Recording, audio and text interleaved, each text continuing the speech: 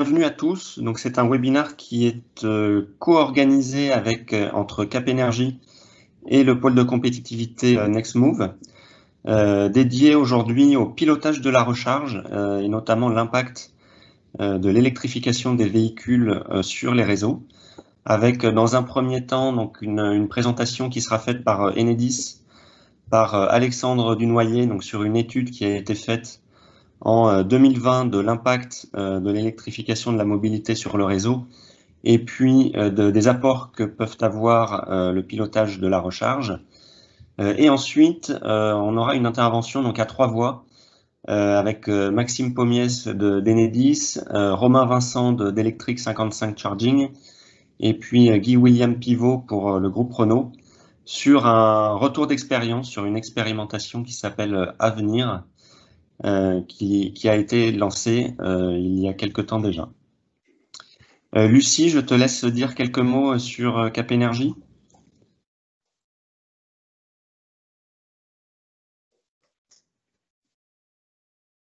Lucie?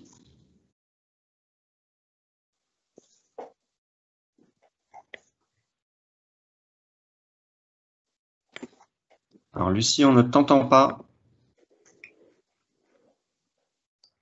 Lucie, ton micro est coupé. Hein. C'est probablement pour ça qu'on ne t'entend pas.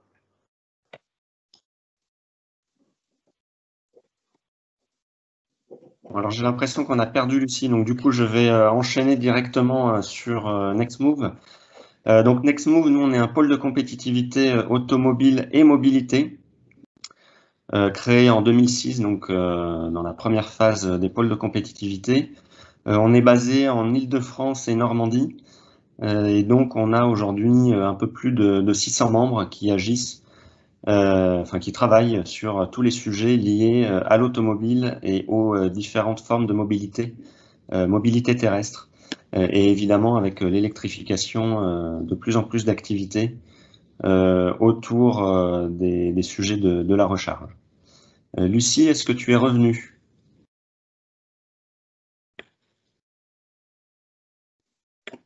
Non, toujours pas. Euh, bien écoutez, euh, je vous propose du coup de laisser la parole à Alexandre Dunoyer euh, pour Enedis, donc qui va réaliser la première intervention. Alexandre, c'est à toi. Oui, merci Geoffroy. Est-ce que vous m'entendez correctement? Parfaitement. Bon, alors bonjour à tous. Donc, je m'appelle Alexandre Dunoyer, je suis délégué territorial sur la Normandie et plus particulièrement je m'occupe de tout ce qui est euh, euh, solution, nouvelles solutions euh, autour de, de, l'accompagnement de la transition écologique. Et en particulier, je, suis le chef de projet en Normandie du, du, programme mobilité. donc, donc, bon, effectivement, la transition écologique, elle, elle, s'articule beaucoup par euh, l'électrification des usages. Hein. Euh, il y a la mobilité électrique d'une part, il y a les évolutions euh, du chauffage avec le développement de la pompe à chaleur un petit peu en alternative aux, énergies fossiles. Et puis il y a tout ce qui est production décentralisée, éolien, photovoltaïque. Donc tout ça, c'est beaucoup autour des, réseaux électriques. Du coup, se pose la question ben, de, l'évolution de ces réseaux électriques pour pour accueillir tous ces nouveaux usages. Alors, euh, face, à ça, donc effectivement, il y a des niveaux d'investissement euh, assez importants euh, au, niveau d'Enedis. Hein, chaque année, c'est 4 milliards d'euros d'investissement, dont à, peu près la moitié qui sont consacrés au raccordement. Enfin, ça va être dont la moitié euh, euh, pour les raccordements et puis la moitié pour euh, les, renforcements, les restructurations de, réseaux. Et ces niveaux d'investissement vont, vont, rester à ce niveau-là. et puis il y a un point important, c'est que là on est en train de finir le programme Linky et du coup on va garder le même niveau d'investissement, sachant qu'il euh, y avait une part importante de ces investissements euh, sur les dernières années pour le, programme Linky.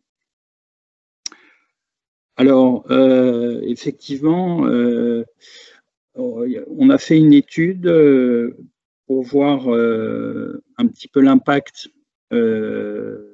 déjà pour voir un peu quels allaient être les, besoins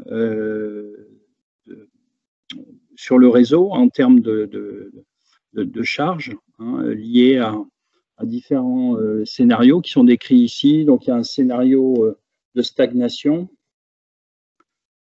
euh, stagnation de l'économie et puis du coup une transition écologique aussi qui, est ralentie. Un scénario continuité avec une croissance économique régulière et la poursuite ben, des politiques énergétiques qui sont, qui sont prévues.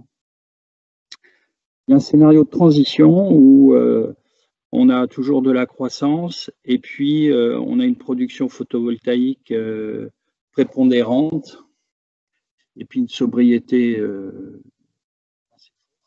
donc ça, c'est une accélération de la transition écologique. Et puis il y a un scénario de rupture où il y a une forte croissance économique et de la population et euh, la mise en place de, 100% de production euh, électrique décentralisée. 100% ENR. Alors, en fonction de ces scénarios, bah, vous voyez sur le graphe, on a une évolution euh, qui est quand même assez modérée hein, de la demande d'électricité. et en moyenne, hein, sachant qu'on ne sait pas trop vers quoi on va, mais l'ordre de grandeur, c'est une croissance de la demande de l'ordre de 1% par an. Alors, ça reste quand même assez modéré, hein, puisqu'on a eu euh, de l'ordre de, jusqu'à 10% par an hein, euh, euh, sur, sur les 50 dernières années, enfin jusqu'en 2000, jusqu'au premier choc pétrolier, entre la fin de la guerre et le premier choc pétrolier, on était sur des, sur, sur, des rythmes de, de, croissance de la demande d'électricité qui étaient, qui était bien, bien supérieurs. donc là, il y a une partie des nouveaux usages en fait qui sont compensés par, euh, ben, la, maîtrise de l'énergie, la rénovation thermique et, ces choses-là. Donc là, j'ai pris, je vous ai fait un focus sur un des, scénarios, le scénario de transition, où on voit euh, que fait, sur le résidentiel, ce que je disais, hein, la rénovation thermique euh, va compenser le transfert vers l'électricité. Dans l'industrie, euh, la relocalisation de, certaines industries euh, va être compensée par les gains euh, sur l'électricité. Et puis l'essentiel de la de l'augmentation de la demande finalement est lié à, la mobilité électrique.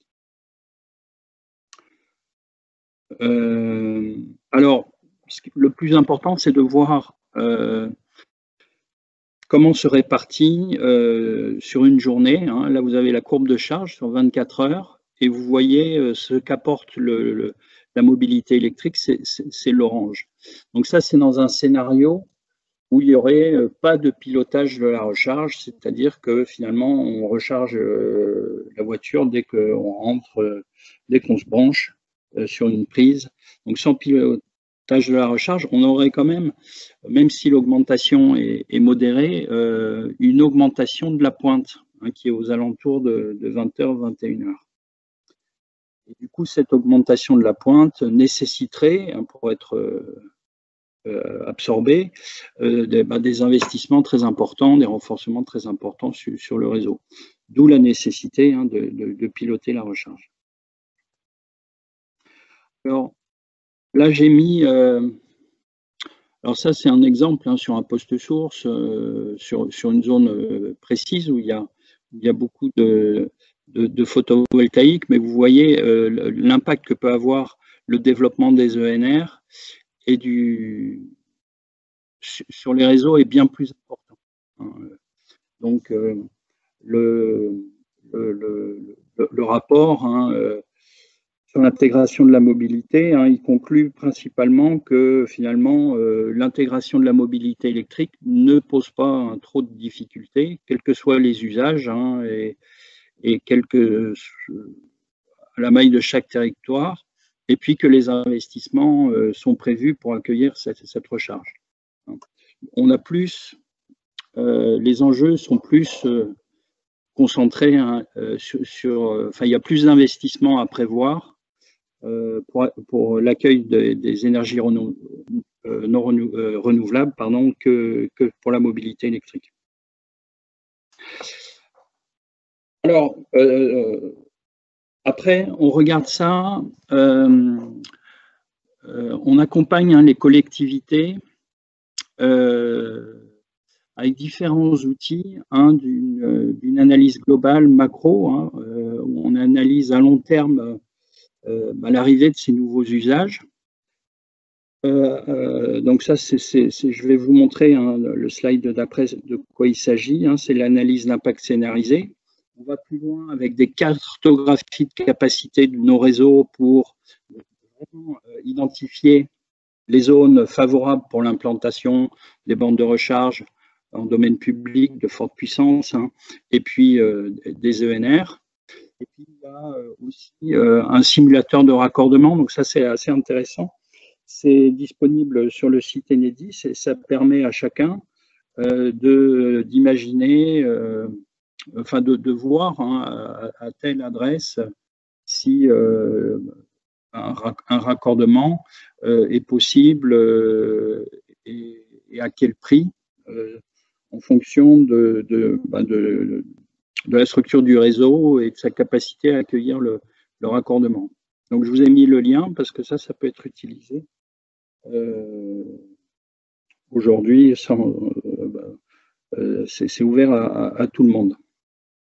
Et puis, il y a une bonne pratique aussi, c'est sur les gros projets, hein, de faire des demandes anticipées de raccordement. Ça permet euh, bah, de faire un chiffrage et puis euh, de, même si euh, l'ensemble des documents pour la demande de raccordement ne, sont pas disponibles pour, bah, pour confirmer la faisabilité d'un projet. Donc, je reviens à l'analyse d'impact scénarisé. Alors, de quoi s'agit-il? Il s'agit bah, véritablement de voir, euh, en fonction des politiques publiques euh, qui prévoient euh, un certain nombre de, d'hypothèses et d'objectifs hein, dans, les, dans, les, dans les politiques locales en termes de, ben, d'isolation des bâtiments, en termes de développement du véhicule électrique, en termes de développement des ENR. Donc, on, intègre l'ensemble des hypothèses locales, hein, des politiques locales, et puis, euh, on, regarde à l'horizon 2030, 2035, 2050, quel serait l'impact euh, sur, les réseaux? Donc là, un exemple hein, du genre de, graphique qu'on peut, de simulation qu'on peut faire. Euh, donc, on, a des hypothèses qui, sont publiques, hein, qui sont en open data, hein, sur les distances moyennes parcourues avec un véhicule, euh, selon les communes, jusqu'à la Maïris. Euh, des hypothèses sur le nombre de véhicules euh, qui, pourraient être, être développés. Puis, on, intègre ces, données ben, dans, nos, logiciels, on va dire, de, de, schéma directeur. Hein, et puis, on, arrive à, avoir ben, les réseaux qui seraient en contrainte euh, à l'horizon de temps euh, choisi pour, euh, en, fonction des hypothèses des collectivités. Donc ça, c'est un outil un petit peu qui permet d'anticiper les investissements sur le réseau qui vont être nécessaires et puis de, valider ben, les, politiques publiques qui sont, qui sont engagées et de s'assurer qu'elles sont compatibles avec, avec euh, bah, les réseaux de distribution. le, deuxième outil, euh, c'est un outil qui permet, euh, par exemple, une collectivité qui établit son schéma directeur de, de bande de, recharge, de voir si ce qu'elle a prévu va pouvoir être accordé facilement et d'optimiser le, coût de, raccordement. Donc là, sur, euh, ces cartos, vous avez, alors il y a une vue euh, par immeuble et puis il y a une vue en fonction des rues, mais ce sont un peu les mêmes données. Et, euh, plus c'est bleu, plus il y a une réserve de puissance sur le réseau qui permet un raccordement important. Et grâce à cet outil qui est en cours hein, de, mise au point, une collectivité va pouvoir bah, simuler l'installation d'une borne de telle puissance et puis, bah, le logiciel intègre cette première borne, recalcule la réserve de, puissance disponible, et puis on peut mettre une deuxième borne, etc. Et s'il y a des contraintes sur le réseau qui nécessiteraient des renforcements, voire la création de postes, eh ben, euh, ça apparaît et puis on voit dans quelle mesure on peut, en se déplaçant de quelques centaines de mètres euh, ou quelques dizaines de mètres, euh, ben, éviter ces contraintes pour avoir un raccordement qui soit économiquement beaucoup plus intéressant.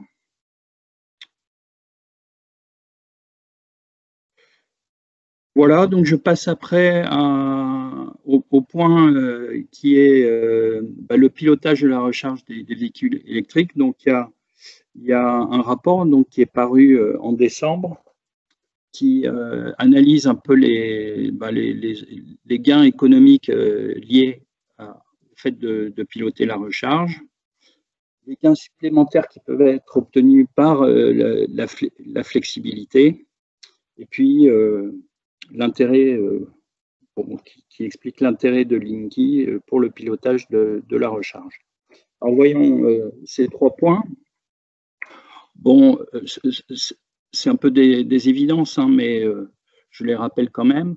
Hein, donc, piloter la recharge, ça permet de, décaler ben, la recharge dans les, en fonction des, plages tarifaires euh, à un moment où l'électricité est la moins chère, hein, dans, les heures creuses. Donc ça peut faire euh, des économies de l'ordre de 90 euros par an hein, pour une Zoé en, décalant la, charge en, heures creuses.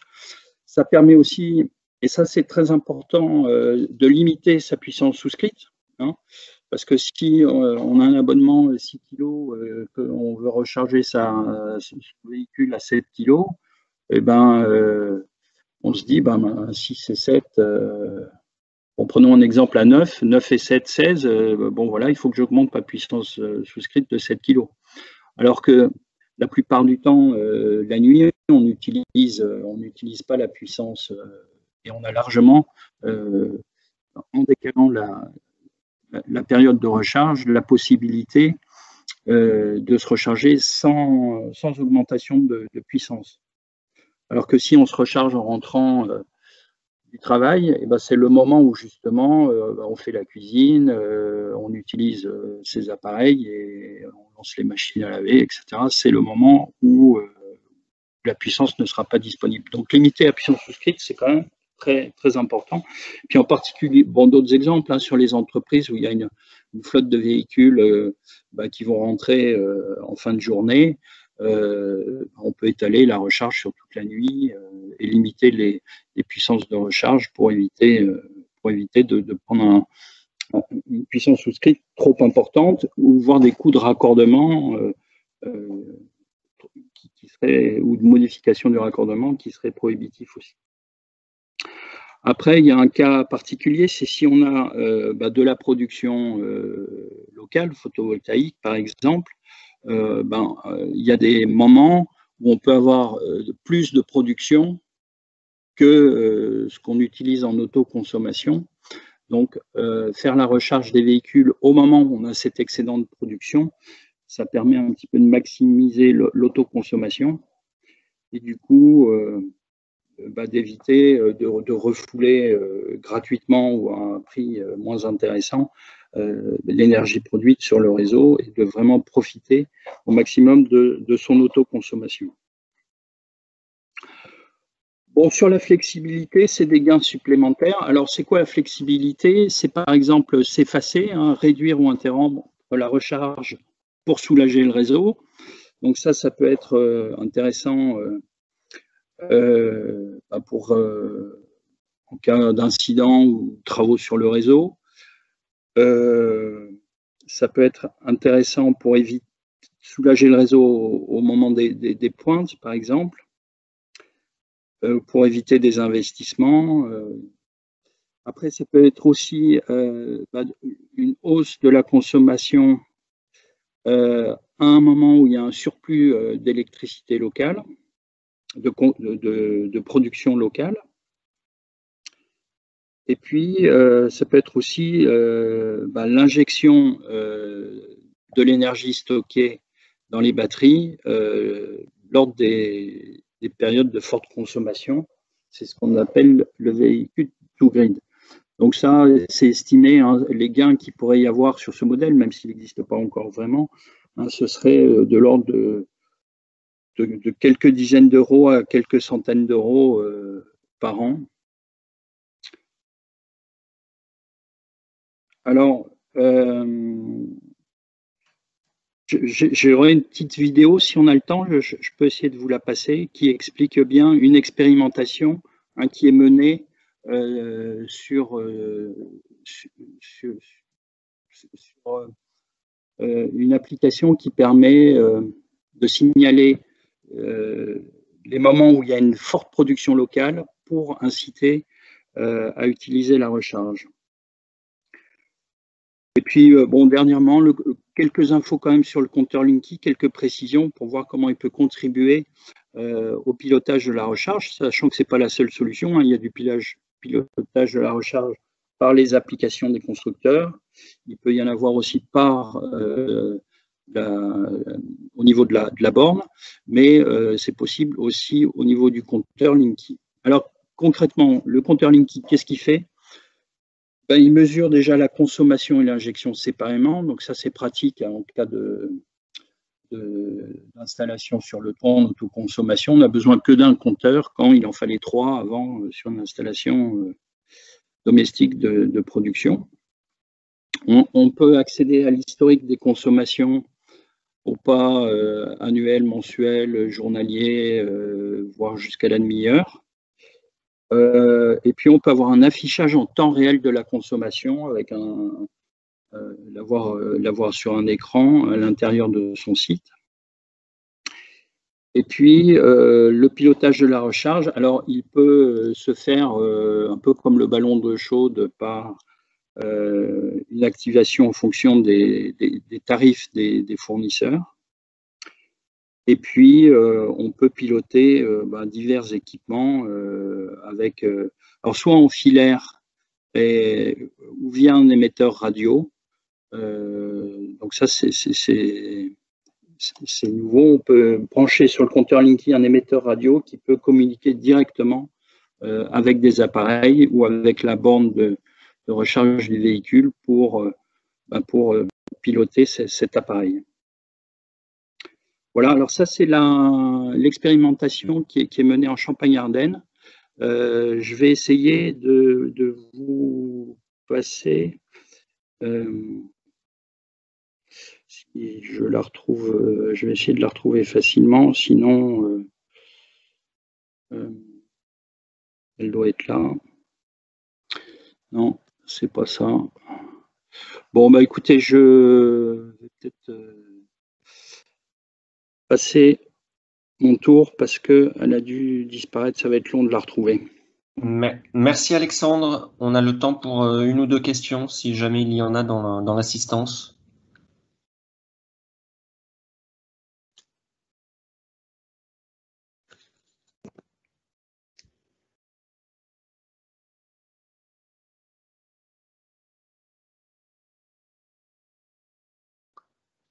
Euh, il n'y en a pas pour l'instant. Euh, sur, un des premiers slides, là, je voyais que la, la, quantité d'électricité euh, sur le réseau Enedis, du coup, c'est à peu près 350 TWh par an, si j'ai bien compris. oui, oui, oui, c'est ça. Si on globale sur une année, c'était plutôt 500. Du coup, le complément, c'est où est-ce qu'il 500, c'est ce qui est, euh, c'est ce qui transite euh, au niveau de, de RTE. Donc, il y a une partie qui va à, l'export, import-export. Euh, il y a une partie qui va dans les pertes et puis il y a une partie qui va dans les clients directs de RTE, hein, qui sont les, les, les, gros entre, les gros clients intensifs comme la SNCF ou les sidérurgies ou ce, genre de, gros clients. Et du coup, euh, sur, le réseau d'Enedis, il, y a 350. D'accord. et une autre question, avec, les, avec les énergies renouvelables, on peut avoir des, variabilités qui semblent pouvoir être assez rapides. Est-ce qu'on on a des outils qui auraient suffisamment de réactivité aujourd'hui pour pouvoir jouer justement avec cette, intermittence et, favoriser le chargement quand il y a des, des périodes de forte, de production d'ENR alors, ben aujourd'hui, c'est les, les centrales euh, nucléaires hein, qui, réalisent euh, la régulation. Hein, euh. donc, l'essentiel, après, il y a quelques, quelques ouvrages hydrauliques qu'on appelle des steppes qui, permettent de pomper ou de produire, euh, qui, font, qui jouent un petit peu de, flexibilité. il y a quelques, mais c'est très marginal hein, aujourd'hui. Il y a quelques, il y a un marché de, l'effacement hein, qui, met en jeu euh, bah, quelques industriels qui, qui, arrêtent leur production euh, en cas de, de, très forte demande tout ça, ça, reste euh, assez marginal. Hein. la principale euh, variable d'ajustement, hein, ce, sont, euh, ce sont les centrales, les centrales nucléaires. Donc, dans un scénario 100% ENR, on changerait complètement de paradigme, hein, puisqu'il faudrait effectivement euh, bah, qu'on consomme euh, quand il y a du vent, quand il y a de, la lumière et qu'on développe massivement euh, des solutions de stockage. Aujourd'hui, on ne sait pas vraiment faire. Hein. D'accord. Et donc justement, ça m'amène à la question qui a été posée là sur le chat.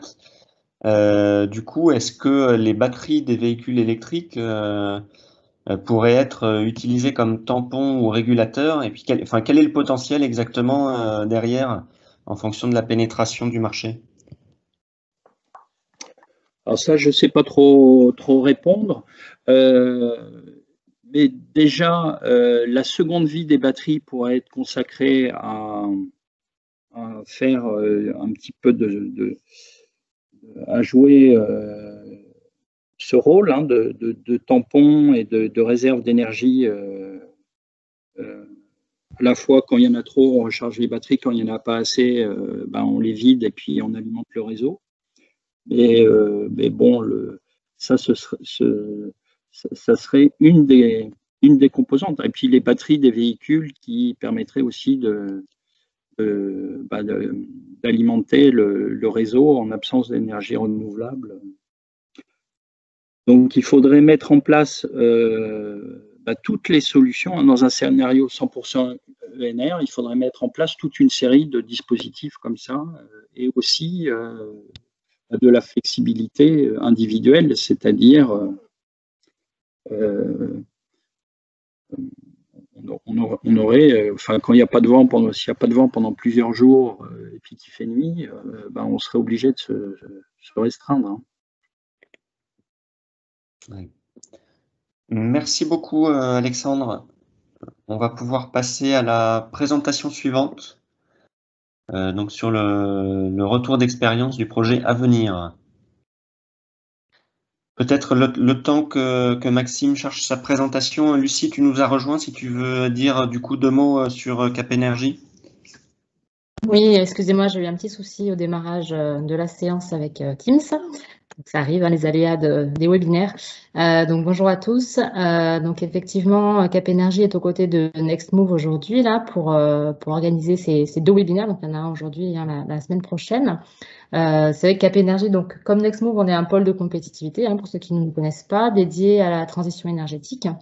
Et parmi nos différentes activités, on a euh, des, animations de filières et des, labellisations d'accompagnement de projets euh, dédiés sur la décarbonation de la mobilité. Et donc, c'est vrai qu'on s'intéresse euh, de près au développement de la mobilité électrique, notamment avec l'interaction sur les, réseaux. Donc, c'est vrai qu'on avait un programme régional FlexGrid dans lequel on traitait ce, cas d'usage. Et donc, voilà, c'était à travers, ces accompagnements de projets, dont le projet à venir, qui va venir présenter euh, son avancement, euh, qu'on est impliqué sur le sujet. voilà, donc très heureuse de, de, vous rejoindre. Je vous laisse la parole du coup, Maxime, pour la suite.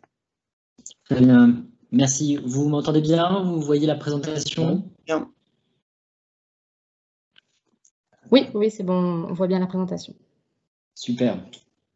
bonjour à tous. Donc oui, moi je vais vous présenter euh, le projet à venir, donc un démonstrateur dédié à la mobilité électrique. Euh, et après, on aura euh, deux autres voix qui vous présenteront un petit focus sur deux cas d'usage traités dans, le cadre de ce démonstrateur, pour vous faire un petit point d'étape. du coup, le projet à venir, c'est un projet qui a été initié par, Enedis suite à la rencontre de deux secteurs d'activité qui sont la distribution d'électricité et le monde de l'automobile, avec le, déploiement massif à grande échelle de véhicules électriques et à la fois bah, de, solutions de, bornes de recharge. Euh, le projet à venir finalement euh, vise à accompagner ce, développement avec des expérimentations en conditions réelles, testant bah, les interactions entre le réseau public de distribution, les bornes de recharge et les véhicules. L'objet, bah, c'est tester finalement des solutions de smart charging au travers de six cas d'usage que je vous détaillerai par la suite. Euh, afin d'évaluer également bah, les, opportunités apportées par le, véhicule électrique euh, pour la gestion des flexibilités locales sur le, réseau public de distribution. Euh, dans le cadre de ce projet, on ne, s'arrête pas uniquement à des, solutions techniques. on va essayer finalement d'explorer plusieurs aspects, que ce soit les, aspects technologiques, les aspects économiques pour voir les, business models qui pourraient découler finalement de, de ces cas d'usage un gros pan également qui est dédié à l'aspect euh, sociologique, euh, où euh, dans les partenaires que je vous détaillerai après, on a une université qui, nous accompagne et qui travaille spécifiquement sur les aspects acceptabilité de la part des, utilisateurs finaux. Et on essaie bah, voilà, également d'être force de proposition sur les aspects réglementaires, sur les, technologies que, que l'on essaie d'éprouver. Donc le, projet à venir, euh, c'est un projet bah, qui réunit 12 partenaires euh, au travers d'un consortium, euh, consortium qui est composé ben, de 10 industriels et de 2 académies, dans lequel ben, on retrouve à la fois des grands groupes et à la fois des, startups, donc un, consortium très, très riche. le projet à venir, c'est un projet qui est financé dans le cadre du, du PIA qui est opéré par l'ADEME. Euh, et qui est à la fois soutenu par deux pôles de compétitivité, donc du coup Cap Energy et Tenardis, euh, qui est le, pendant côté euh, de la région lyonnaise. Donc, le, comme je l'ai dit, le, projet à venir, bah, c'est bien l'accompagnement et le développement du véhicule électrique avec la nécessaire intelligence de la recharge. on s'aperçoit que, enfin, on vise à horizon 2030 un déploiement d'environ 7 millions de bornes de recharge en France, ce qui pourrait représenter jusqu'à 10,2 gigawatts de puissance appelée et qui pourrait également nécessiter pour le, distributeur des, investissements de renforcement du réseau pour accueillir ces, ces bornes de recharge d'environ 4,6 milliards d'euros. et donc du coup, afin bah, peut-être de limiter ces, investissements, mais également surtout d'optimiser euh, le déploiement de, ces bornes de recharge. Euh, le projet à venir, c'est un projet bah, qui s'étend de, bah, qui a commencé en 2019 et qui va se poursuivre jusqu'à fin 2022, euh, et dans lequel finalement on, traite plusieurs, plusieurs cas d'usage. Le premier qui concerne finalement la recharge du, véhicule électrique, le pilotage de la recharge. Euh, ce qui permet également bah, d'optimiser la, puissance de raccordement et le coefficient de foisonnement. Un des cas d'usage qui concerne également la, modulation de puissance euh, d'appel à la recharge à la demande du, euh, distributeur. exploiter également le, service véhicule to grid, donc au travers d'une expérimentation qui consiste à, tester des, des bornes bidirectionnelles euh, un des cas d'usage qui concerne euh, valoriser la flexibilité des véhicules électriques à une maille locale, donc en faisant appel à des services euh, d'agrégation. on souhaite également travailler sur la recharge des, énergies, vertes localement, en travaillant sur la, synchronisation entre la production photovoltaïque et la recharge du véhicule électrique. Et enfin, on travaille également sur la conception d'un modèle euh, prévisionnel euh, de la recharge euh, des véhicules électriques à la maille d'une zone géographique donnée, en implémentant divers facteurs d'influence, pour essayer voilà, d'avoir finalement des, des, trajectoires et des, des prévisions de, consommation qui nous permettraient également d'améliorer la, la, conduite du réseau. géographiquement, le projet se tient majoritairement bah, dans deux régions qui sont la, région euh, sion-rodanienne et la région PACA. Euh, où c'est que Enedis, euh, finalement, au travers de deux directions régionales, bah, euh, contribue fortement à ce projet. Mais finalement, on s'aperçoit également que par opportunité, bah, on ne s'est pas limité à ces deux régions et on a fait du, on a recruté des, sites au travers de la, région Île-de-France et dans d'autres régions là qui viennent contribuer à avoir finalement des, résultats en conditions réelles. Euh, et on traite également voilà, de différents types d'usages euh, en fonction des, bornes, euh, des bornes de recharge. On, différencie finalement trois types d'usages. les flottes en entreprise, les bornes en voirie ouvertes au public et également le résidentiel collectif sur lequel aujourd'hui on, éprouve quelques difficultés de, recrutement puisque le résidentiel collectif, au travers bah, du, vote en, assemblée générale dans les copropriétés, peut-être parfois un, frein finalement au déploiement des, bornes en résidentiel collectif. Voilà pour la présentation un peu globale du, projet. Euh, je vais laisser la parole du coup à, Romain Vincent euh, et à Guy-William Pivot pour vous présenter deux cas d'usage. Donc, moduler la puissance selon un signal réseau et expérimenter le véhicule intégré localement. Romain, oui, est-ce qu'on m'entend Bonjour. Très bien, on t'entend. Je passe au slide suivant et tu me dis quand est-ce que tu veux que je passe les slides. C'est parfait, merci beaucoup. Euh, bah, bonjour à tous. Déjà, je vais me présenter, présenter ma société. Je suis Romain Vincent, je suis le président et le fondateur de Electric 55 Charging, euh, E55C euh, pour aller plus vite. Euh, on est opérateur de recharge pour véhicules électriques et on a une spécificité depuis 2013, c'est qu'on finance des infrastructures en domaine public ou en domaine privé et on se rémunère sur le fait que les gens les utilisent. Donc c'est un modèle économique qui était qui est, assez risqué vu que euh, on porte le risque et le marché n'était pas au niveau où on en est aujourd'hui pendant de nombreuses années, mais aujourd'hui ça porte ses fruits. C'est vraiment une tendance du marché qui se développe et euh, on a la chance bah, d'avoir pas mal d'expérience à ce sujet. Et dans ce contexte-là, on a longtemps cherché à travailler, on continue, on travaille continuellement à développer des nouveaux services et euh, une proposition de valeur euh, euh, différenciante et notamment, on a une volonté forte, c'est de contribuer d'un côté au développement de la mobilité électrique, vous l'avez bien compris, mais d'une autre part, on pense qu'une mobilité électrique qui est rechargée par des énergies renouvelables, c'est formidable. Et hum, sans faire, sans opposer nucléaire ou, ou autre source d'énergie, on pense que la mobilité électrique c'est formidable, mais la mobilité électrique euh, alimentée avec des énergies renouvelables, c'est encore plus exceptionnel. Euh, donc, dans le contexte du projet à venir, on a été invité à participer, à se positionner sur certains sujets dont notamment euh, le, les enjeux de pilotage de la recharge en fonction des enjeux du distributeur. Donc, on en a parlé en amont et on a bien vu qu'il y avait des grosses problématiques, euh, non, des nouveautés en fait à prendre en compte pour les distributeurs euh, euh, avec l'intégration euh, des énergies renouvelables au niveau de la basse tension et leur côté intermittent et de l'autre une montée en puissance très très forte de la mobilité électrique avec des enjeux liés à la charge qui grosso modo si je résume il n'y a pas de problème pour généraliser la mobilité électrique encore faut-il ne pas faire n'importe quoi. Il ne faut pas que tout le monde euh, vienne et branche sa voiture à 20 heures comme on allume comme comme on allume sa télé, euh, pour certains d'entre nous en tout cas, et donc créer un pic de consommation euh, supplémentaire à celui qui existe déjà. Euh, l'enjeu dans le dans, le, dans le, projet à venir et tout particulièrement dans l'O2, c'est de créer des, interfaces en fait entre le, le, réseau de distribution et les opérateurs de charge pour appliquer, pour répercuter en fait des, des consignes au niveau des véhicules euh, qui sont en charge, euh, qui vont dépendre de phénomènes physiques et mesurés côté distributeur.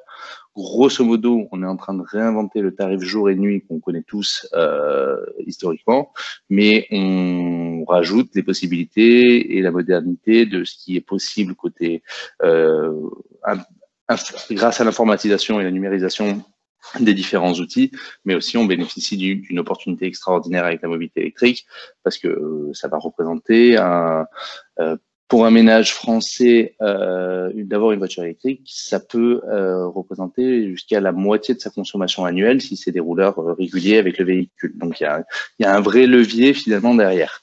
Donc dans le cadre du lot 2, euh, l'enjeu était de créer ce pont technique et qui soit co-construit entre les différents acteurs euh, c'est-à-dire, il s'agissait pas pour Enedis d'imposer une vision et de dire, euh, bah, vous avez, euh, vous opérateur de recharge, vous allez recevoir un ordre, il va falloir l'appliquer.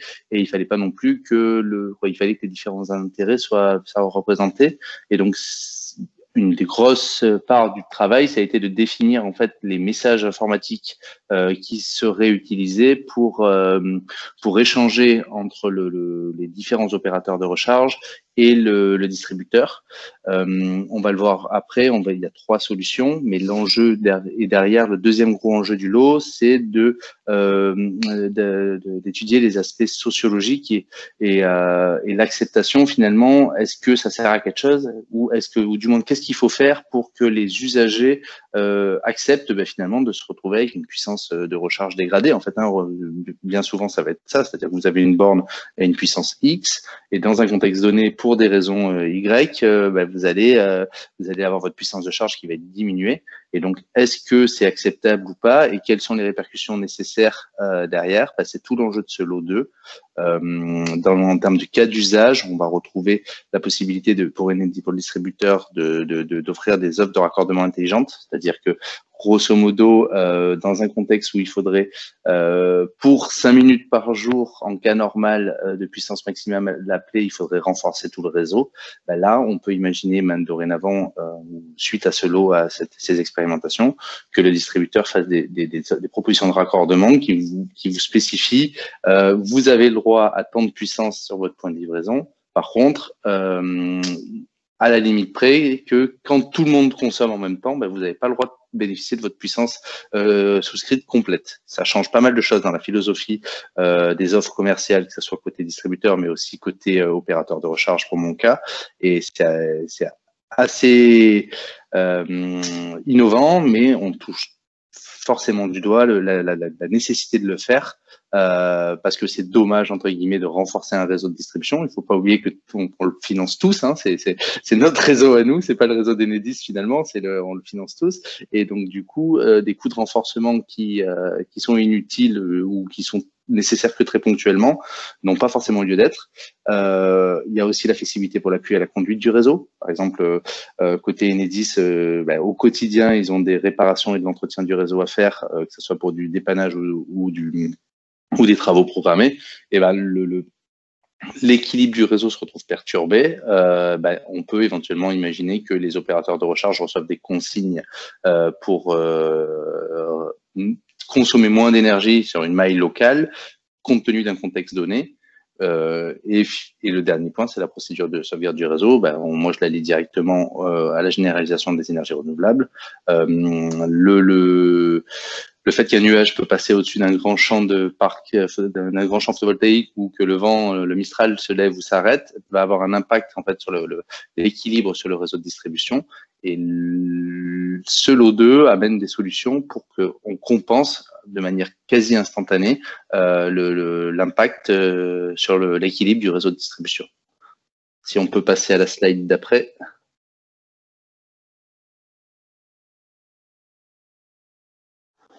Allô, allô? Normalement, c'est bon, hein, j'ai passé à la slide après. Ah, ça y est, pardon, ben, j'ai eu, excusez-moi. Euh, donc, euh, techniquement, un petit peu, pour rentrer un peu plus dans, dans, le détail, en fait, il y a trois cas de figure qui sont testés dans ce lot 2. Euh, le, celui, je vais finir par celui qui m'intéresse le plus. Les deux premiers cas, c'est grosso modo l'évolution du tarif jour-nuit comme on le connaît, mais en rajoutant un niveau de finesse plus important, c'est-à-dire qu'on passe par la chaîne de comptage, que ce soit pour les compteurs type Linky que on connaît tous très bien maintenant, ou les compteurs type euh, euh industriel, qu'on soit en HTA ou qu'on soit en, sur les C4. Euh, donc là, il y a, des expérimentations qui sont faites euh, par d'autres acteurs, notamment euh, Total et EasyVia, nous, on s'est particulièrement positionné sur la chaîne, ce qu'on appelle le SI à SI, c'est-à-dire que c'est des messages informatiques avec des API pour ceux à qui ça parle. on va recevoir un ordre qui vient de la partie logicielle de, de Enedis vers notre partie serveur d'opérateur de recharge et on répercute sur la borne par des ordres informatiques. Ces deux chaînes de valeurs qui sont différentes et à mon sens complémentaires. Nous, on s'est positionné sur la partie SIA-SI notamment parce que euh, ça nous paraissait déjà une partie très très innovante, mais en plus, elle nous permet des, des, des temps de réactivité plus importants. Nous, je vois un lien très fort avec le développement des énergies renouvelables et l'intermittence des énergies renouvelables et le fait que le, le, le signal SIA-SI soit quasi instantané. Euh, bah nous, c'est ça qui nous a motivé à se positionner dessus chez E55C. Euh, ce qui est intéressant de savoir et qu'il qui, faut prendre en compte, j'en parlais en introduction, c'est qu'on n'est pas dans un tout ou rien. On est dans une négociation. Ça veut dire que quand euh, le, distributeur va nous demander, nous envoie un message, ça marche hein, aujourd'hui hein, en laboratoire, ça marche, de, modifier notre euh, puissance appelée côté euh, souscription, côté abonnement finalement. Euh, imaginons qu'on ait un abonnement à 36 kVA. D'un coup, on reçoit une demande pour la baisser à 18 kVA. on diminue par deux la puissance. on a la possibilité de l'accepter, de le refuser, mais on a aussi la possibilité de proposer un, un, un entre-deux. C'est-à-dire que, par exemple, moi j'ai six, six points de charge sur la station concerné par cette demande sur la station de charge. Euh, j'ai un utilisateur qui n'a pas le temps, qui doit absolument partir euh, le plus vite possible et qui ne peut pas se permettre de réduire sa puissance de charge.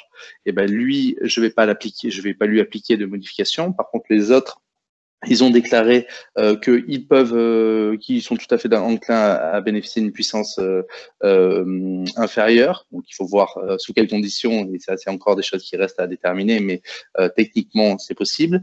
à ce moment-là, ben, on va, on va, dans notre réponse de demande à la demande de flexibilité, on va dire non, on fait pas, et on, non Enedis, on fait pas ce que vous me demandez. Par contre, on vous propose un compromis. Et ça, c'est assez intéressant parce que ça fait vraiment partie du côté innovant qui a été co-construit dans le projet. Euh, actuellement, il y a des tests d'intégration qui sont euh, réalisés sur les trois volets. Donc, euh, nous, on a des tests qui ont été réalisés sur le côté SIA ici en labo et il va y avoir des tests en conditions physiques qui vont être programmés en juillet. Sur les autres volets, sur le côté chaîne de comptage, je sais qu'il y a des preuves de concept qui ont été faites au, Enedis Lab par Total et Easivia. Euh, je ne veux pas rentrer au niveau de détail d'où ils en sont sur le, le, le, la mise en, la finalité de leur test, mais euh, je sais que ça avance bien. Euh, le, pro, le, le, les ordres de raccordement innovantes euh, sont, sont, sont dans un cadre qui ont déjà été définis. C'est-à-dire qu'aujourd'hui, je suis pas certain que c'est proposé au grand public, mais il y a des gens qui, qui les testent. Quand je dis innovantes, ça veut dire que on va avoir des contraintes qui n'existaient pas avant dans, dans, dans, dans, nos habitudes de consommation, en échange de pouvoir bénéficier de raccordements qui n'auraient pas été possibles sinon. Euh, et dans le même temps, notamment au travers de ce qui se passe sur, la, sur le territoire du Grand Lyon avec Isivia, mais aussi euh, la fac d'Aix-Marseille qui est, qui est un acteur impliqué sur ce sujet, il y a un véritable aspect, il y a un gros aspect euh, vérification de l'acceptation par le client et, euh, et, validation en fait de quels sont les éléments clés euh, qui font qu'un client va accepter euh, ce type de modulation euh, ou pas. Et donc le, but c'est d'aller au bout de du diagnostic pour en, pour en tirer des conclusions et lever des freins euh, et faciliter l'acceptation de, de, de, de, modulation et faire en sorte grosse quoi l'intérêt derrière c'est que chaque consommateur devienne un peu acteur de la transition énergétique et en ayant une, portant une responsabilité euh, liée à ses usages et ses consommations, euh, ce qui n'a pas toujours été le cas par le passé euh, euh au, au, niveau de la consommation énergétique d'un foyer, par exemple. Euh, voilà, comme, comme en introduction, il y avait beaucoup de choses qui avaient été dites sur le lieu, les enjeux et le contexte. J'ai fait un peu vite, mais du coup, je suis à votre disposition pour répondre à des questions s'il y en a.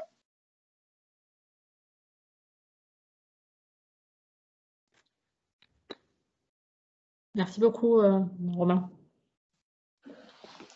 Avec plaisir. Je pense qu'on garde les questions pour euh, la fin. Il me semble qu'il y avait un deuxième cas d'usage euh, qui devait être présenté, non? Doit être véhicule to grid. Guy William? Oui, bonjour à tous. Euh, donc, je suis Guy William Pivot. Moi, je suis chef de projet innovation sur l'écosystème de véhicules électriques chez, chez Renault. Euh, donc, je travaille en étroit lien avec, euh, avec Maxime sur le démonstrateur à venir, et plus particulièrement sur le lot 3. Donc, le lot 3 du, démonstrateur qui s'occupe du, vehicle to grid. donc, je suis pilote de ce lot. Donc, je vais vous présenter, je te laisse passer à la slide suivante, Maxime, mais je vais vous présenter euh, ce qu'on fait sur ce lot 3 autour du vehicle to grid. Euh, donc, juste très rapidement le, contexte hein, pour, euh, pour ceux qui n'auraient pas en tête. Donc, dans les réseaux électriques, on a les réseaux de transport et les réseaux de distribution. Les réseaux de transport, forte puissance, longue distance, et réseaux de distribution, plus courte distance, plutôt maille locale. et pourquoi je vous parle de ça? Parce qu'en fait, euh, la flexibilité, euh, les services de flexibilité sont des choses qui sont déjà très développées aujourd'hui sur les réseaux de transport pour assurer l'équilibre production-consommation au niveau national. Euh, par contre, c'est quelque chose d'extrêmement nouveau au niveau des réseaux de distribution. et donc, finalement, quand on regarde aujourd'hui les infrastructures de recharge de véhicules électriques, l'immense majorité des infrastructures de recharge de véhicules électriques aujourd'hui sont euh, raccordés au réseau basse tension, euh, donc sur réseau de distribution. Euh, et donc notre terrain de jeu sur le lot 3 et sur Avenir en général, c'est bien les réseaux basse tension de distribution. et c'est là qu'on qu'on expérimente effectivement des, nouveaux services de, de, flexibilité qui seront complémentaires à ceux qui existent déjà sur les réseaux de transport et qui ont des, qui ont des, qui ont des objectifs, euh, qui ont des objectifs euh, pas forcément exactement les mêmes, mais, euh, mais, mais, complémentaires. Voilà. Je te laisse, je te laisse avancer, Maxime. Voilà.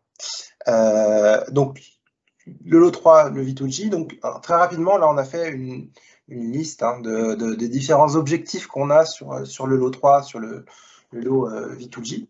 Globalement, ce qu'on fait, ce qu'on fait euh, de manière générale sur, sur Avenir aussi, hein, le, but, ben, c'est de, de, de, préparer le, les déploiements commerciaux de ces services de flexibilité au réseau, au réseau électrique et au réseau de distribution en particulier. Euh, donc, ces services de flexibilité fournis par euh, des véhicules électriques. Donc, quand on parle de services de flexibilité, généralement, on les classe dans deux catégories on parle de smart charging ou parfois on parle de V1J, donc c'est du, pilotage de la charge monodirectionnelle. Et on parle aussi de V2G, donc là c'est du pilotage de charge bidirectionnel. On peut euh, non seulement euh, classiquement consommer sur le réseau, mais aussi ponctuellement réinjecter euh, de, la puissance et de l'énergie sur le, réseau. donc, de manière assez générale, on veut évidemment prouver, mesurer l'intérêt à la maille d'un poste de distribution de, l'impact que qu'ont les, véhicules électriques quand ils sont pilotés euh, en bidirectionnel pour fournir des services de flexibilité. Travailler sur des cas d'usage qui, sont cohérents et qui, sont pertinents d'un point de vue de l'opérateur du réseau de distribution et donc appliquer des flexibilités à des cas d'usage euh, existants, en fait, hein, des cas d'usage euh, qu'on constate euh, dans les besoins du, gestionnaire de réseau de distribution. Travailler sur la sécurité, évidemment, puisque quand on a une installation qui est capable de réinjecter sur le réseau, on a quelques contraintes de sécurité supplémentaires. analyser les impacts du, du, V2G sur le réseau, donc en termes de, de éventuellement de, de, perturbations ou d'interaction avec les communications courant porteur en ligne euh, Linky et la qualité des signaux, et l'impact aussi sur la qualité de, l'énergie qui, transite sur le réseau. Un autre point qui est, euh, qui est crucial, hein, qui est un petit peu le, nerf de la guerre, c'est de savoir comment on, dimensionne les offres ou comment on dimensionne le, service euh, pour faire en sorte que les utilisateurs y adhèrent et, l'utilisent. Et donc, c'est tout l'enjeu de l'acceptabilité comme tu l'as mentionné, euh, Maxime, euh, l'Université d'Aix-Marseille contribue euh, fortement là-dessus. et puis, via les scénarios d'expérimentation qu'on déploie, on veut, aussi avoir un retour d'expérience sur quel type de, fonctionnement avec l'utilisateur associé, comment, comment interagir avec l'utilisateur, comment prendre en compte évidemment leurs besoins de mobilité, hein, puisque bon, quand on, utilise un véhicule, c'est avant tout pour se déplacer et dans un second temps, évidemment, pour éventuellement fournir des services de flexibilité au réseau. Bien dans cet ordre-là, on ne veut pas nuire, on veut pas nuire aux, besoins de mobilité des, utilisateurs, des conducteurs. Euh, ensuite, un truc qui nous occupe pas mal, bah, euh, c'est d'être capable évidemment d'avoir toute la tringlerie en termes de télécom pour, euh, partir, du besoin, ce qu'on appelle la demande de flexibilité des 10, et réaliser le service, et puis en aval, être capable de, vérifier que le, service a bien été réalisé, c'est ce qu'on appelle le, contrôle du réalisé. Et donc, je vous, présenterai dans quelques slides suivantes deux approches hein, qu'on teste, euh, deux approches très différentes euh, d'un point de vue euh, télécom, hein, qu'on teste pour, comparer deux approches sur ce sujet-là. le raccordement au réseau, hein, donc évidemment, quand on, quand on met des ressources distribuées qui sont capables de fournir de l'énergie au réseau, bah, il y a des, des, modalités de raccordement spécifiques. les modes de communication, donc ça on en parlera un petit peu. Euh, que ce soit les modes de communication, donc je mentionne l'ISO 1518 qui est une, norme de, communication euh, assez évoluée entre le véhicule et la borne, qui permet de faire beaucoup plus de choses que les normes classiques. Et puis la communication entre euh, le Linky et éventuellement la borne ou d'autres objets. qui, ont, déjà été mentionnés. Donc, c'est une interface qui est disponible sur Linky, hein, la, TIC qui veut dire télé, téléinformation client.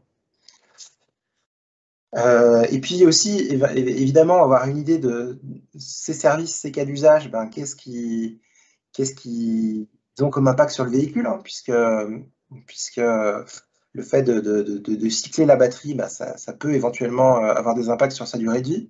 On pense souvent à la batterie, mais il n'y a pas que la batterie, il y a aussi le, chargeur. Euh, si on passe d'un chargeur qui est, qui est, censé fonctionner 10 000 heures sur sa durée de vie et qu'on fait fonctionner 20 000 heures, bah forcément, euh, euh, les constructeurs automobiles, il va falloir qu'ils dimensionnent ces chargeurs différemment. Euh, je mentionne les chargeurs, mais il n'y a pas que les chargeurs. Par exemple, le tableau de bord, hein, s'il est allumé pendant la, pendant recharge, on, va, augmenter sa, durée, de fonctionnement. Donc, il faut qu'on qu prenne bien ça en compte dans la conception des, des, des organes. Euh, ensuite, il y a l'aspect dysfonctionnel, c'est aussi quelque chose d'important, puisque si euh, le service, pour une raison ou une autre, ne fonctionne pas, n'est pas réalisé, euh, il faut d'une certaine manière qu'on sache pourquoi il n'a pas fonctionné. Est-ce que, enfin, à, qui la faute d'une certaine manière, et puis qu'on soit capable évidemment d'être résilient, d'être résilient, parce que si, si, si, on compte sur ces services et qu'ils ne fonctionnent pas, il faut qu'on sache les faire marcher. Hein. Euh, et puis, évidemment, d'être capable de, faire des recommandations sur l'interopérabilité. Donc, euh, être capable de faire tourner un même service euh, avec des véhicules Renault, PSA, d'autres marques, avec des véhicules qui ont des architectures éventuellement différentes, hein, puisque aujourd'hui, pour faire du V2G, il y a plusieurs façons de faire. On peut le faire soit avec un chargeur réversible qui est dans la voiture, on peut faire avec un chargeur réversible qui est dans la borne.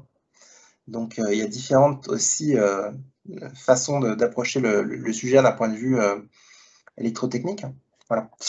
Euh, voilà, donc il y a beaucoup d'enjeux, hein. vous voyez, c'est assez riche. Euh, je peux passer peut-être au slide suivant, Maxime? Il y a toujours un petit délai entre le, le, clic de Maxime et puis l'affichage des slides, donc j'anticipe un peu. c'est bon, c'est passé. Moi, je ne les vois pas encore mais je peux, euh, je peux quand même euh, éventuellement enchaîner. Euh, donc, en fait, ce qu'on... Ça devrait pas tarder. Pardon? Ce qu'on a fait, c'est qu'on a... Ça devrait pas tarder, normalement. J'ai appuyé quand tu m'as demandé, donc... D'accord, ok. Bon, bah, ça, ça, lag un peu, c'est pas grave, c'est réseau télécom. Euh, donc ensuite, oui, on a, on a, on a défini trois cas d'usage principaux euh, qu'on va traiter avec ces technologies vehicle to grid. Voilà, ça y est, le, slide est apparu. Euh, donc les trois cas d'usage principaux qu'on traite euh, avec euh, ces technos, enfin avec cette approche vehicle to grid, c'est les trois suivants. Donc, il y, a, en fait, il y a trois catégories. Hein. il y a des demandes de flexibilité qu'on est capable d'anticiper, par exemple en prévision de travaux, où là, eh ben, évidemment, pendant les travaux, on va évidemment avoir une contrainte de, taille de tuyau dans le, dans le, réseau de distribution. Et donc là, on va vouloir euh, s'effacer partiellement, totalement, voire même réinjecter pour supporter le, réseau localement. Euh, donc ça, c'est quelque chose qui nous permet, qui, peut être anticipé. Euh, et donc on peut savoir, par exemple, la veille, qu'il y aura besoin de flexibilité le lendemain.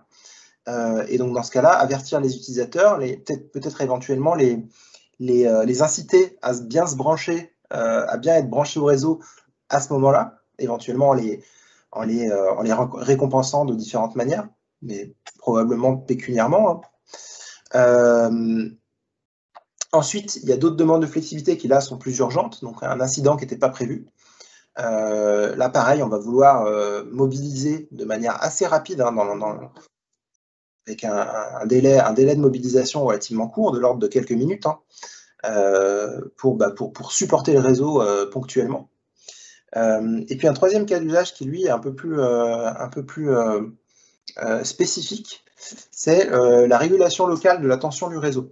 Alors, en fait, euh, ce qui se passe, c'est qu'avec le développement de plus en plus large et dense des, des, renouvelables intermittents, et, la, réinjection de renouvelables dans le réseau de distribution, on, a parfois, observe le, les gestionnaires de réseau de distribution observe parfois une augmentation locale de la tension du réseau. Euh, euh, bah, par, capillarité de la réinjection locale. Euh, et donc, en fait, ce qu'on peut faire avec le pilotage intelligent de la recharge réversible, en tout cas de la recharge avec un, chargeur qui est capable de, moduler la puissance active et la puissance réactive qu'il consomme ou qu'il injecte, bah, c'est de, réguler finalement la tension localement sur le réseau. Et donc là, c'est quelque chose qu'on est capable de faire avec, euh, certains chargeurs de véhicules électriques, c'est de, bah, de, jouer sur ce courant réactif pour pouvoir faire redescendre la tension à, 230 volts, euh, ou en tout cas au niveau de tension nominale du, réseau à instant de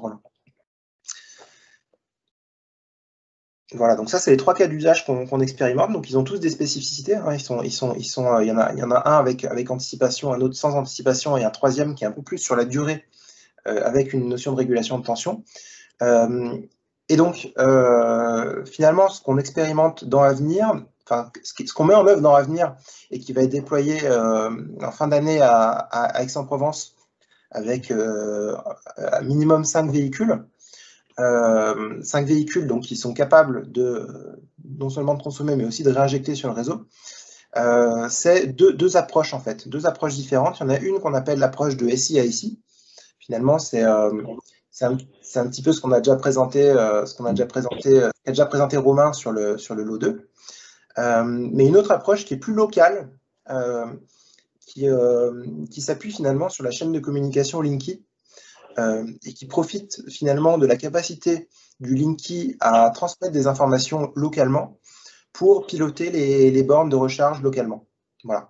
Donc, évidemment, là, dans, ce schéma, euh, si je devais le décrire un petit peu, donc on a évidemment, on part, on part de la gauche avec euh, bah, le, Enedis qui, effectue une demande de flexibilité.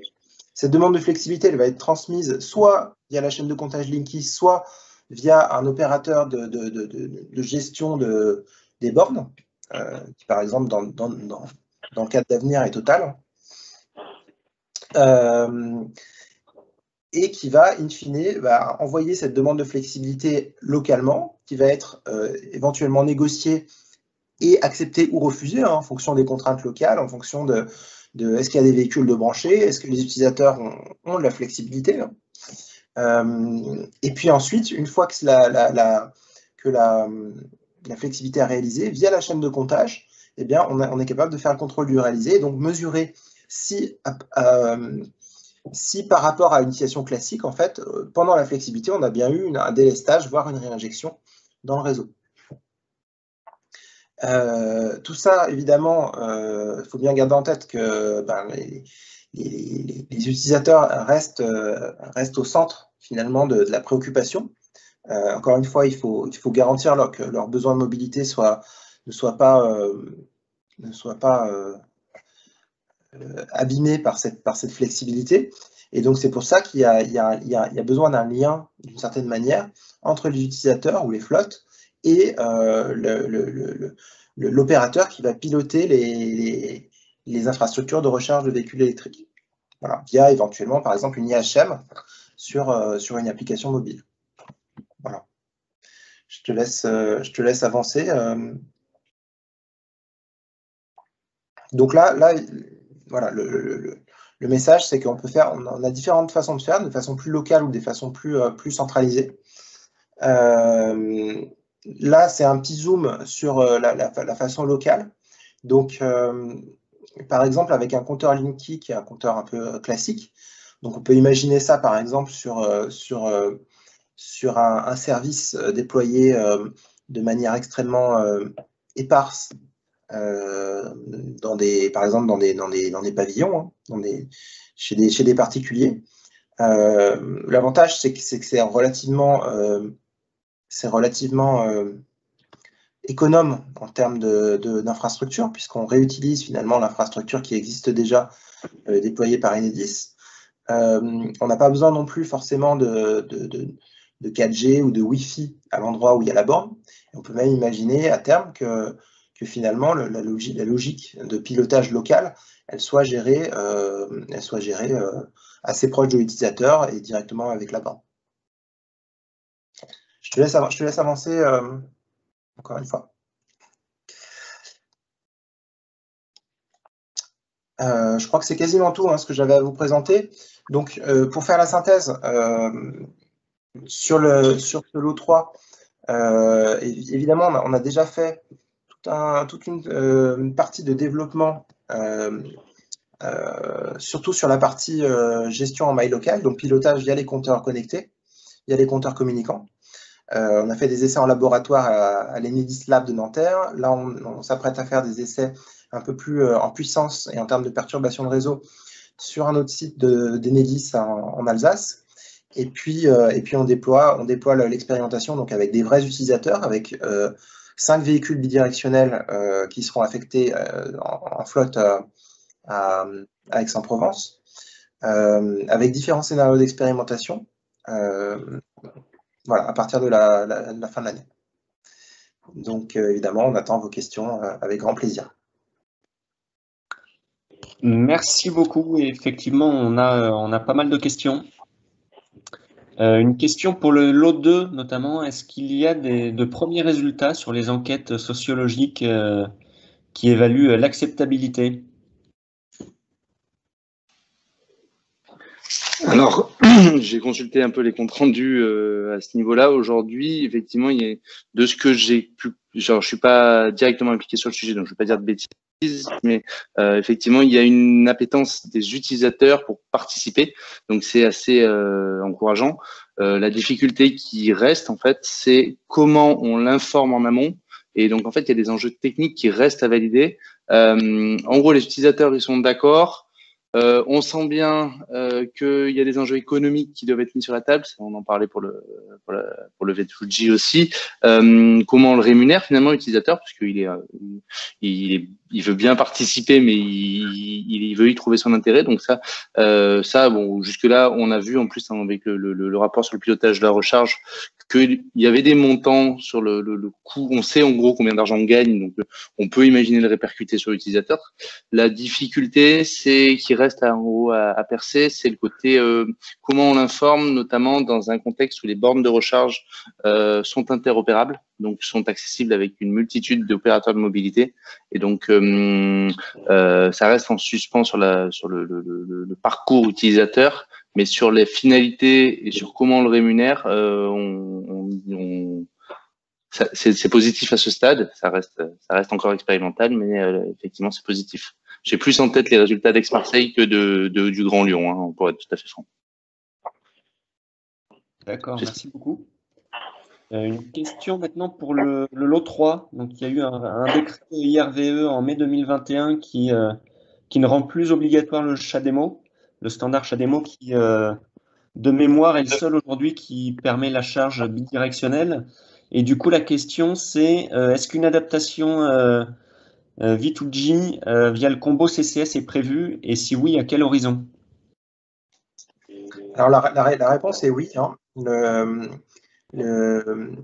la norme ISO 1518-20 euh, est, euh, dans les tout derniers stades de sa publication. Euh, cette norme ISO 1518-20, elle permet évidemment différents modes de, bidirectionnalité, que ce soit en AC et ou en DC. enfin, en AC ou en DC, hein, parce que je n'ai pas, en tête qu'il soit possible de faire de l'AC et du DC en même temps. Donc 1518-20, voilà, c'est une norme, euh, une norme qui, euh, traite finalement de la, communication et des, différents cas d'usage euh, et donc des communications associées pour, pour faire de la bidirectionnalité en AC et en DC. J'espère que ça répond bien à la question. Et donc c'est pour information hein, sur, le, sur le lot 3, donc y a, on a, on a trois, on a, donc sur les cinq véhicules, on en a deux qui sont bidirectionnels en DC, donc euh, c'est des, anciens véhicules CHAdeMO. Euh, et on a deux véhicules euh, bidirectionnels en AC qui fonctionnent donc grâce à, une édition un peu une édition intermédiaire de cette norme 1518-20.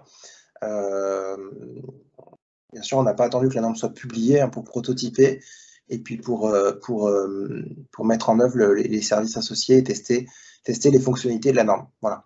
Euh, et donc Renault, pour information, a été assez moteur en, dans les comités normatifs internationaux pour justement introduire dans cette norme ISO 1518-20 les différents modes dynamiques de pilotage de la recharge réversible en AC et en DC. Et, du coup, le, standard sera disponible à quel horizon pour le grand public? Alors, l'ISO 1518-20, à mon avis, elle, doit être. Euh, je, peux regarder en live, mais il me semble qu'elle est sur le point d'être euh, euh, publiée là. Hein. On, est, on est au niveau du, draft of International Standard, donc je pense qu'elle devrait arriver milieu d'année prochaine à peu près. Milieu d'année prochaine, ouais, c'est ça. D'accord, merci. Euh, ça, a été, une norme extrêmement difficile à, pousser. Hein. elle, a, été retardée plusieurs fois. En fait, à, l'origine, ça devait être l'ISO 1518-2, euh, édition 2. Euh, et comme il y a eu énormément de, discussions et qu'on n'a pas réussi à tenir le, les délais de, publication de la norme, en fait, on est passé sur un deuxième nom, on a rajouté un zéro, et euh, c'est la 1518-20. Mais, mais elle, est, elle, est, elle, est, euh, elle est en phase, en phase finale, là. donc euh, ça devrait arriver l'année prochaine. Merci. Une question sur les craintes par rapport à la durée de vie des batteries liées à l'utilisation V2G, puisque du coup on augmente les cyclages. Est-ce que vous l'avez chiffré cette, dégradation? Alors ça, c'est une excellente question. C'est euh, euh, un peu le, nerf de la guerre. Euh, en fait, en fait, évidemment, être capable de, définir ce qu'on appelle des profils de mission, hein, des profils de mission de, cyclage batterie, c'est évidemment fondamental pour être capable de construire un modèle économique, un modèle économique qui soit qui flotte hein, pour, pour, pour ce genre de service. La problématique euh, pour être capable de faire ça, c'est d'être capable de bien définir les services, les services qu'on va exploiter. Euh, aujourd'hui, en fait, euh, les services qu'on préexploite commercialement, c'est surtout sur des batteries de seconde vie, pour lesquelles on fait des, pour lesquelles on fait du support, du support au réseau de transport. Donc, on fait généralement de la régulation de fréquence, ce qu'on appelle la régulation primaire hein, sur les réseaux de transport. Euh, qui est relativement sollicitant pour les chargeurs et aussi éventuellement pour les batteries. Euh, ici, là, aujourd'hui, on parle plutôt des services au, des services au réseau de, distribution, euh, qui sont des services, en tout cas ceux qu'on a mentionnés précédemment, qui sont des services plus ponctuels, c'est-à-dire des services qui se des, besoins du réseau de distribution qui, qui, qui sont, qui sont plus rares d'une certaine manière où il y aura euh, quelques appels par mois, euh, mais, ce ne sera pas quelque chose de, forcément de continu. Et donc, bah, on voit tout de suite hein, que le, fait de solliciter moins souvent, ça va diminuer le, nombre de cyclages et donc ça va être moins, moins sollicitant sur la batterie. donc pour les, pour les services au réseau de, de distribution, on pense que ce sont des services très intéressants justement parce qu'ils ont moins cette problématique de, fort cyclage sur les, sur les, sur les, sur les batteries. Euh, en complément, ce que je peux rajouter, c'est que derrière tout ça, évidemment, il y a aussi une optimisation de comment on charge les véhicules. Parce que euh, euh, si on veut, si on veut finalement minimiser l'impact de, dégradation de la chimie des batteries, euh, il vaudrait évidemment mieux se balader entre 50 euh, et 80% d'état de charge de, la batterie que de faire du 0 à 100%. Euh, et donc tout ça, évidemment, c'est des contraintes supplémentaires à prendre en compte lors de la conception des, services pour, bah, pour optimiser finalement le, le, modèle économique et le, et le, service effectué. Voilà. Merci. On passe à la question suivante. Euh, donc aujourd'hui, il existe des prestataires pour euh, l'effacement, d'autres pour la gestion euh, de stockage d'énergie, des distributeurs d'électricité. Peut-on imaginer demain des prestataires de flexibilité au niveau d'un territoire ou d'un constructeur automobile?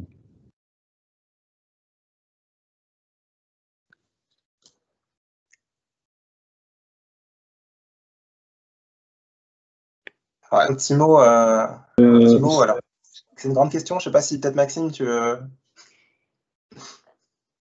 Non, quelqu'un voulait. Euh, c'est Alexandre Dunoyer là. Ouais. Bah, il existe déjà des, agrégateurs de, flexibilité. alors, comme ça a été dit, ils, interviennent plutôt sur les clients industriels. mais ça existe, hein. il y a des, opérateurs de flexibilité qui, qui agrègent euh, des, des, petits clients. Euh, et euh, donc, ça, on peut bon, aujourd'hui, le marché n'est pas très dynamique, mais, mais on, peut, on peut imaginer qu'il y a un essor de, ce type d'opérateur. Ouais, excusez-moi, un enfin, j'ai des soucis un peu de, connexion. un des, cas d'usage également dans le cadre du, projet à venir qui est le lot 4, euh, finalement, c'est faire appel à des services de flexibilité en passant par un, agrégateur. Donc, pour vraiment tester le, potentiel de flexibilité euh, des véhicules électriques à une maille locale. Donc, euh, c'est clairement un des, cas d'usage envisagés. et aujourd'hui, euh, ce qu'on va faire, bah, c'est tester à la fois la chaîne de communication de, bout en bout. Donc, euh, c'est euh, Enedis qui émettrait des, demandes de, flexibilité au travers d'identification de, contraintes, en passant par un agrégateur qui, dans le cadre du, projet, est Total R&D, et qui après agrégerait différents, différents clients, différents parcs de bornes, et qui, en fonction bah, des, potentiels de flexibilité, des, capacités euh, de, chaque site recruté euh, répondrait favorablement ou défavorablement finalement à ces demandes de, flexibilité, euh, que ça soit à la fois en sous-tirage ou en injection, et après en allant jusqu'au contrôle finalement du, réalisé, à la vérification de, la prestation à la fois par l'agrégateur, qui soit passerait bah, finalement par des opérateurs de bornes ou jouerait directement les, flexibilités sur les bornes recrutées, euh, et après, à la fois pour, pour au travers d'analyse de, courbes de charge pour vérifier que les, que les demandes de flexibilité ont bien, euh, ont bien été réalisées. Donc c'est aussi un des cas d'usage. Euh, alors c'est un, des lots qui avait été, qui avait rencontré quelques difficultés. Aujourd'hui, sur les, clients recrutés, on en a encore un petit peu au, début, mais l'intérêt, ouais, c'est bien de, recruter plusieurs clients pour pouvoir finalement agréger des flexibilités locales du, véhicule électrique.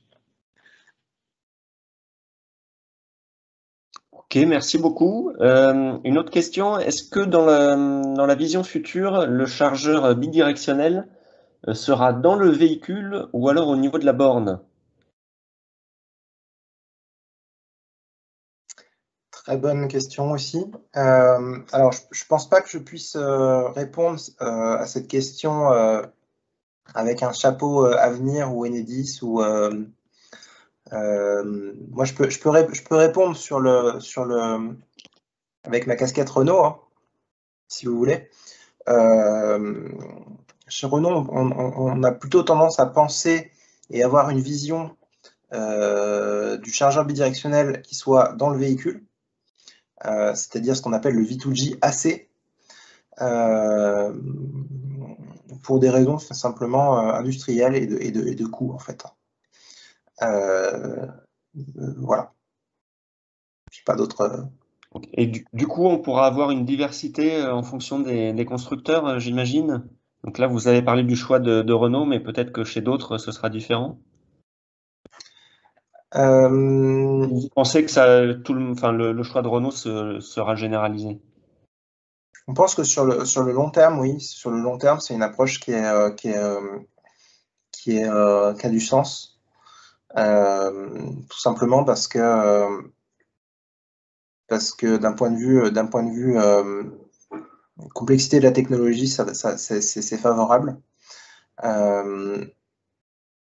Aujourd'hui, aujourd'hui, quand on regarde le, quand on compare le coût d'une bande, d'une bidirectionnelle qui contient un chargeur et le coût euh, qu'on imagine d'une borne euh, assez bidirectionnelle, donc qui ne contient pas de chargeur, qui contient simplement les sécurités supplémentaires et la communication nécessaire, euh, on pense qu'il y a un gap, un gap assez énorme quand on regarde le, coût total du système.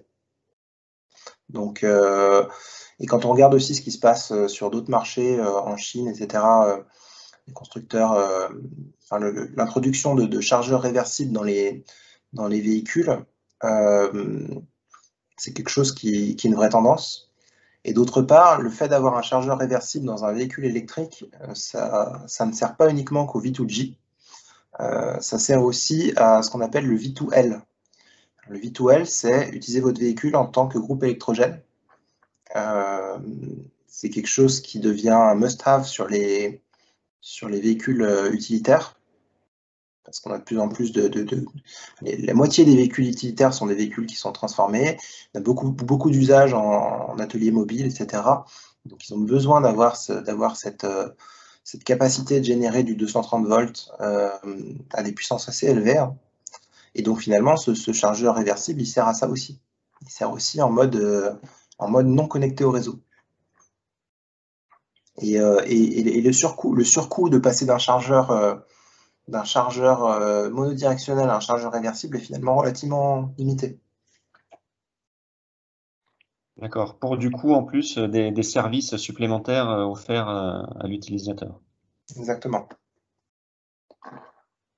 Ensuite, est-ce que est-ce qu'on peut transformer une flotte existante de véhicules électriques en véhicules compatibles avec le V2G Et quelle est la difficulté? C'est une bonne question encore, c'est très intéressant d'ailleurs. Euh, alors, euh, si euh, d'une certaine manière, on peut, partir de, l'approche basique qui est de se dire qu'un véhicule électrique, c'est une grosse batterie, c'est une une énorme batterie sur, quatre roues. à partir de ce moment-là, évidemment, bah, c'est une capacité de stockage euh, qu'on peut exploiter de certaines manières. Ensuite, euh, tout dépend du niveau de complexité qu'on veut y mettre. Si on veut, entre guillemets, faire du plug and play, euh, c'est-à-dire brancher et capable de, jouer, d'échanger l'énergie avec le réseau pour répondre à des services, dans ce cas-là, cas-là, évidemment, on a besoin d'une compatibilité, je dirais, logicielle pour être capable de communiquer avec le véhicule et de faire en sorte que le véhicule soit si on est en DC, bah, ferme ses relais et, euh, et, accepte ce qui se passe, euh, soit si on est en AC, bah, de piloter, euh, de, piloter le, consommation et la réinjection. Donc ça, c'est une forme de compatibilité logicielle qui peut éventuellement, bah, une mise à jour logicielle, c'est quelque chose qu'on sait faire dans l'automobile, hein, et de plus en plus d'ailleurs sans passer en concession. Euh, et puis, euh, donc voilà, donc ça, c'est le point de vue logiciel. Après, du point de vue, euh, euh, point de vue un peu plus générique, aujourd'hui, ce qu'on fait déjà, hein, c'est de, dire qu'une batterie qui a fini sa, vie automobile aux alentours des deux tiers ou trois quarts de son énergie initiale, on peut la sortir du véhicule et la mettre dans un autre contexte qui est du stockage stationnaire pour, bah, pour faire des services pareils au réseau. Et donc ça, c'est des choses qu'on fait déjà. On est en train de déployer des, systèmes assez larges de, stockage stationnaire euh, qui réutilisent les batteries qui ont encore un potentiel de stockage à la fin de leur vie automobile. Voilà, je pense que ça répond à peu près à la question. Et ce sera d'ailleurs le sujet du prochain webinaire euh, le 6, le 6 juillet, euh, avec l'un de vos collègues d'ailleurs de chez Renault. une dernière question, parce qu'on arrive au bout là, du, temps qu'on s'était fixé. Est-ce que vous pensez que la blockchain pourrait être utile justement pour gérer ces échanges euh, d'énergie?